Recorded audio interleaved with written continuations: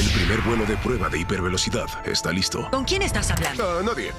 Otra vez. Ya está en cartelera la película que nos muestra al querido Buzz Lightyear de una manera muy diferente. Por ello, queremos contarte la historia de este entrañable explorador espacial, a quien vimos primero como un formidable juguete. Y ahora tenemos en la pantalla grande como un valiente piloto humano que también irá Al infinito. Y más allá. ¿Conoces a esos entes? Como ya debes saber, Buzz Lightyear debutó en Toy Story, el primer largometraje de animación digital de la historia, estrenado en 1995.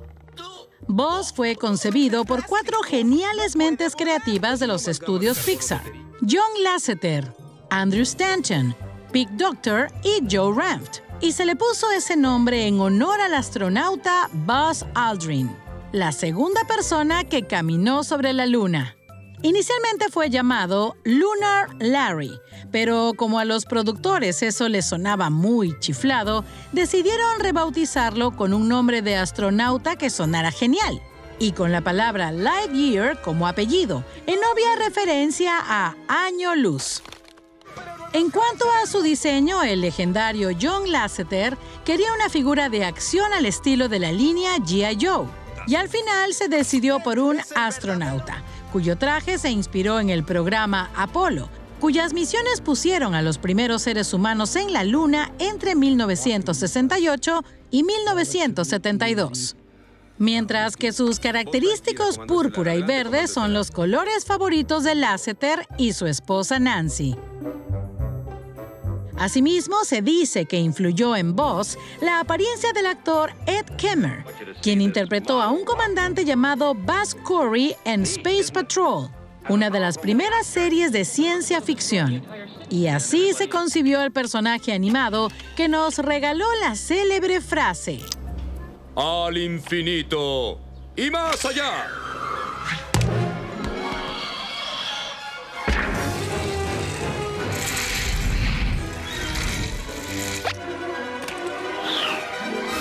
Y otras inolvidables escenas, como frente a su némesis, el emperador Zorg. Yo soy tu padre.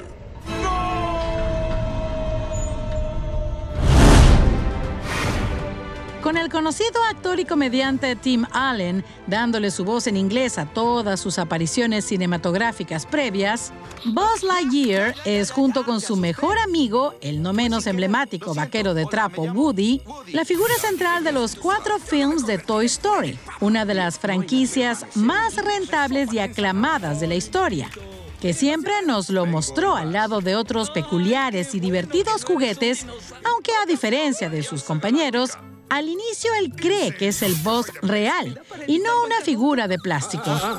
Mucho cuidado, no querrían estar cerca. Además, este popular personaje ha participado en varios cortos y especiales para televisión de Toy Story y otros títulos de Pixar, donde lo hemos visto en disparatadas versiones como esta, The Cars, así como en otras películas animadas de Disney. Al infinito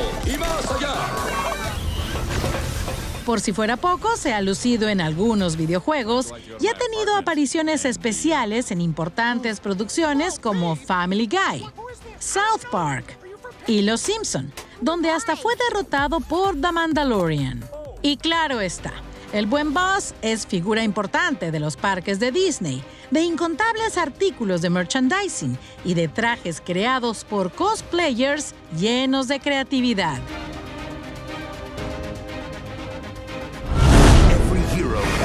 La idea del Buzz Lightyear, que no es el juguete, sino el personaje en el que el juguete se basa, ya se había explorado en el spin-off para el mercado de video Buzz Lightyear Comando Estelar. La aventura comienza.